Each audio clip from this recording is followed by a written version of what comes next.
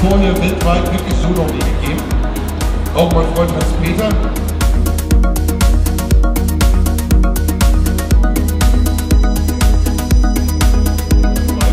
Er zeigt uns jetzt mal, wie man zum Beispiel mit diesem System auch jemanden wie den Hans-Peter, der noch ganz starke seinen Hüftvorfall hat, die Hand auf das Becken legen und auf die Bauchmuskulatur kann zum Beispiel auch gleichzeitig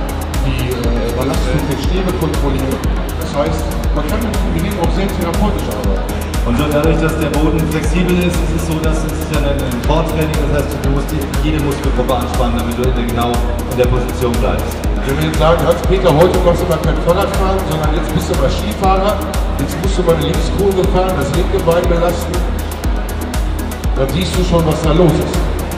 Nachsteigen. Das ist richtig hart. Also wer dann sagt, das ist Pipifax,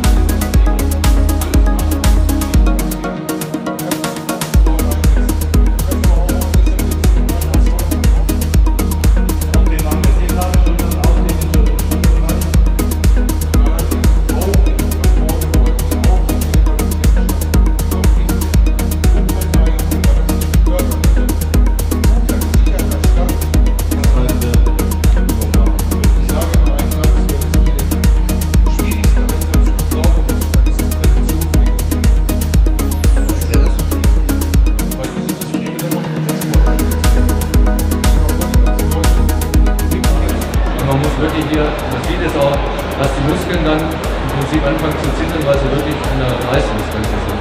Weil in Wirklichkeit, das ist ja alles beweglich, dieses Körper, und das ist ja keine feste Fläche.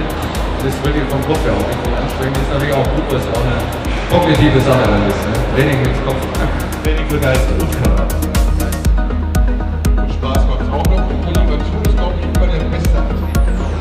Wenn Sie das auch mal probieren wollen und äh, eine Idee davon bekommen wollen, wie das funktioniert, selber ausprobieren, Fragen haben, am IQ-Stand gibt es mehrere von diesen Boards, ganz viele Kollegen vom IQ, die Ihnen das ganz, ganz äh, toll erklären und mit Ihnen dann Übungen machen.